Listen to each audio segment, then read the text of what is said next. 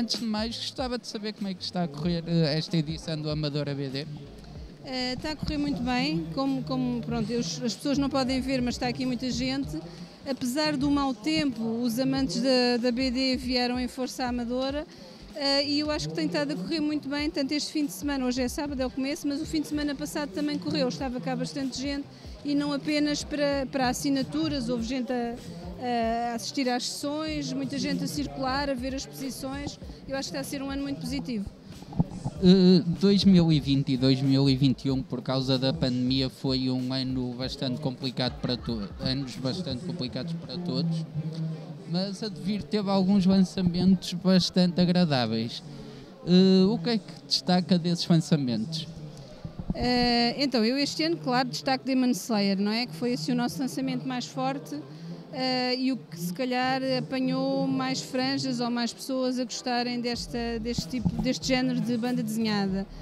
Uh, no entanto, nós o ano passado tivemos também um lançamento da nossa coleção de Suru, que foi o Gourmet Solitário, que para nós é uma coleção muito importante e é um livro interessante, um bocadinho para um público mais velho.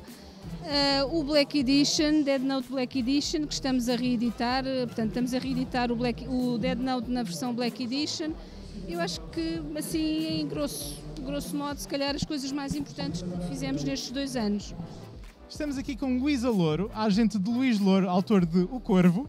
Luísa, o, o, Luís tem estado bastante ocupado. Como é que tem sido a recepção do novo livro do O Corvo? Bem, o Luís não é para estranhar porque normalmente são sempre grandes filas e não para porque está todos os dias do festival, fins de semana e feriado, sempre a autografar ininterruptamente das quatro até às sete, sete e pouco. A receptividade tem sido excelente, porque ainda por cima numa época pós-Covid, ele tinha um livro que saiu em pleno Covid e o outro saiu no final da segunda quarentena. Uh, e segundo as palavras do editor, maravilha que é só ir buscar caixas, o que eu acho que é uma coisa muito boa. A Amadora BD agora está aqui no novo local. Uh, como é que tem sido esta adaptação a esta nova edição do, do Amadora BD? Uh, eu acho que está ótimo, acho que está de parabéns, porque o local, na minha opinião, é muito mais simpático, apesar do temporal que se tem feito sentir esta semana.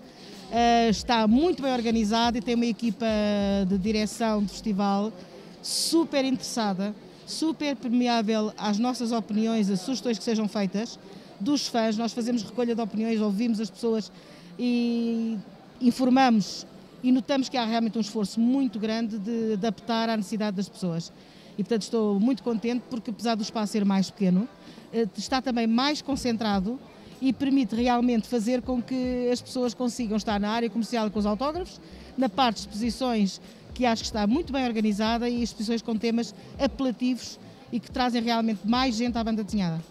De uma maneira geral e surpreendentemente, porque a gente não estava à espera que a coisa arrancasse já tão bem no novo sítio, está a correr bastante bem um, em termos de público e de vendas está a correr bem mesmo. Uh, e depois o novo espaço tem os seus pequenos defeitos, mas eu penso que tem sobretudo vantagens.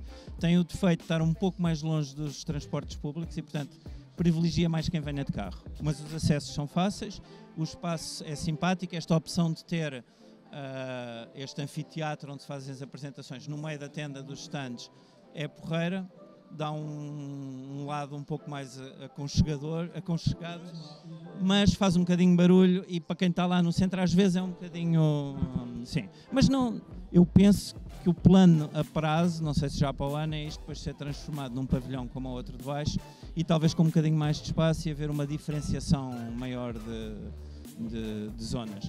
Para nós, aceita nós somos um editor atípico, não é? Porque somos muitos projetos na mesma, na mesma umbrella e, portanto, estamos divididos por vários stands, mas de uma maneira geral tem corrido tudo muito bem. E uh, a Aceita cresceu muito agora, em tempos de pandemia, tem crescido bastante. Uh, o que é que destacarias mais dos lançamentos que tens feito, que fizeste este ano, por exemplo? O que é que destacarias mais a nível de sucesso de vendas ou de, de público ou de crítica?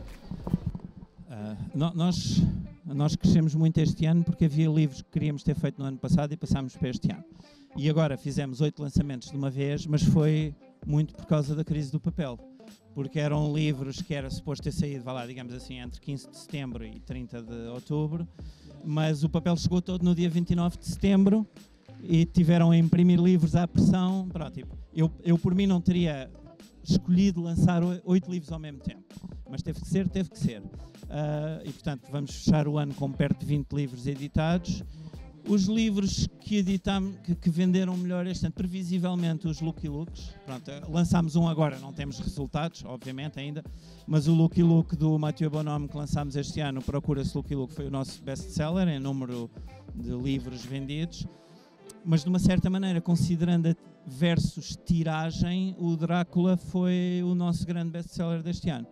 Ahm, temos já pouco stock e já estamos no processo de reimprimir. Já, en- já encomendámos papel que supostamente chegou na semana passada e vamos imprimir eh, sem pressas porque ainda temos um bocadinho de stock que nos deve levar até ao fim do ano. E, mas, mas esses foram os dois livros que mais venderam. Quanto o resto, o mercado tem tem sofrido irregularidades nas vendas, não, não é fácil de prever o que é que vai vender ou o que é que não vai vender. De uma maneira geral, podemos dizer que não houve nada que corresse mal.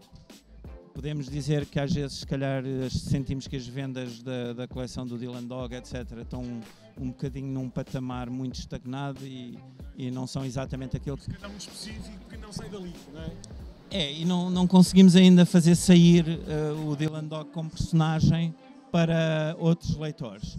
Que não é fácil, porque às vezes também não há muitos sítios para promover livros com tiragens pequenas que não têm como suportar um orçamento de marketing que a gente fosse publicitar noutro sítio. E portanto, talvez isso e o facto de que são livros que a gente estava à espera que vendessem um bocadinho melhor, mas na verdade é, o- é- é a coleção que a gente sente que precisa de ser trabalhada para continuar melhor. Os Lucky Looks, obviamente, são sempre, são sempre bons, mesmo os de autores menos conhecidos e mais alternativos, digamos, como o Maville, que teve cá no fim de semana passado, e este do Buzar também não estamos à espera que seja um Mathieu Bonhomme, mas vai vender bem.